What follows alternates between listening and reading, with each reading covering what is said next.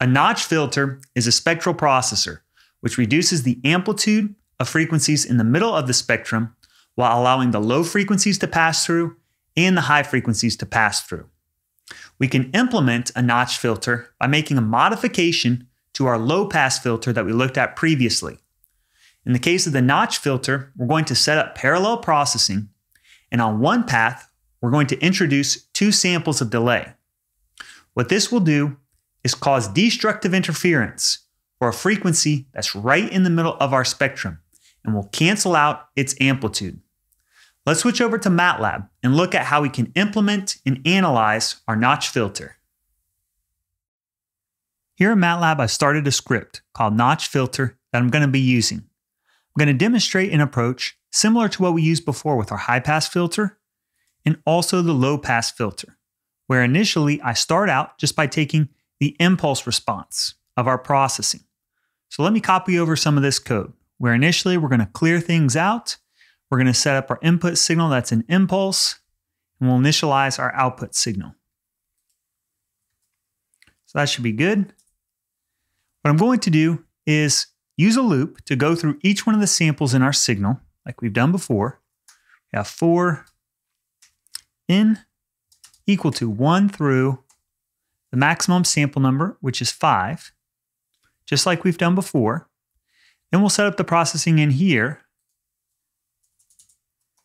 and we'll finish it up with end. So inside, we're going to be populating this array y. So here, y is going to be based off of our input signal. So we know for our dry path, that's just going to be x of n comma 1. Then if we want to use samples from the past, previous samples, we can do that a couple of different ways.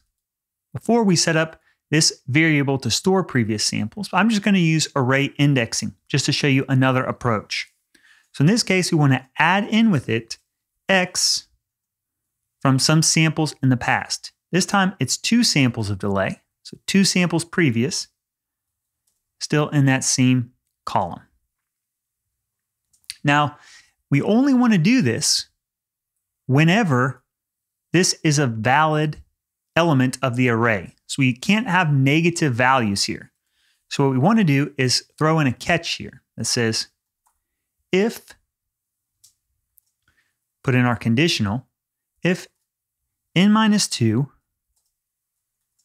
if that one is less than 1, and we're going to do something.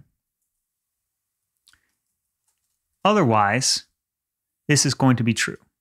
So initially, we'll just say that y is going to be equal to x without any samples of delay. So what does this do? Initially here, when this would return for us an invalid array index, we're going to skip this part of it and we'll just pass our dry signal because we don't have any delayed signal yet to work with. Then when we get to the point where we're, we're able to use two samples from the past, then we're going to use this approach. So this will fill up Y for us. The one thing we'll probably want to do here though is let's use uh, 0.5 times both of these things. Here and then 0.5 times this whole part of our expression. This just makes sure that what we're going to have is unity gain in our notch filter. So let's look at now what we end up with at the end. So I'll print out y down here to the command window. We can look at the result of filtering. So we can see we've now introduced the two samples of delay. We have 0.5, 0, 0.5.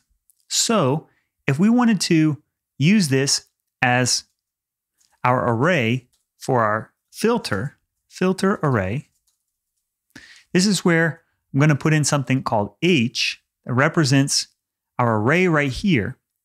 The thing we have to be very careful about is making sure that we have this zero in here such that we're introducing two samples of delay in our filter.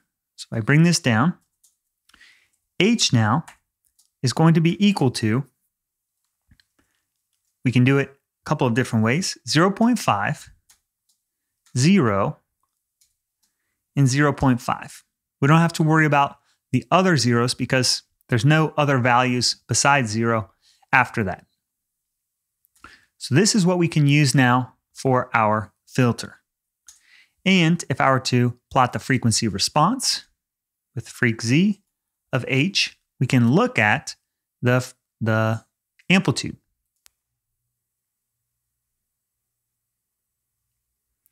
What do we see here now?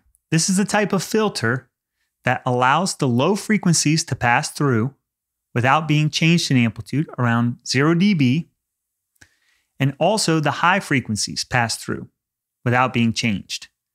But then it's the frequencies in the middle of the spectrum at half of our Nyquist frequency that are going to be reduced in amplitude. So if I apply this filter to some white noise, we're able to hear the end result. So let's copy over some of that code so we can check that out. So we'll set up our input signal now, switch it over to white noise.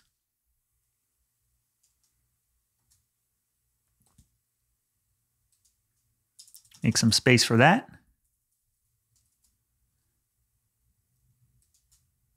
So now we've got our input signal is X. We have our sampling rate. We have our system H, which is our notch filter. And we'll get the output here too. So just for good measure, what I'm going to do is start out and have this be equal to X. So we can hear what the white noise sounds like. And then I'll come down here and I will play back from the command window what the filtered noise sounds like. So let's hear the unfiltered signal the first time I run this through.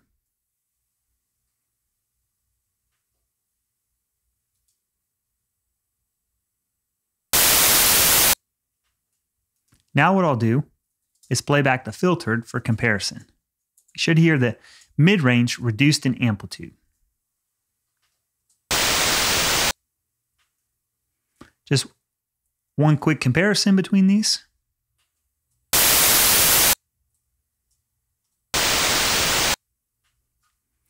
So this is how we can set up and perform the processing of a notch filter that uses two samples of delay.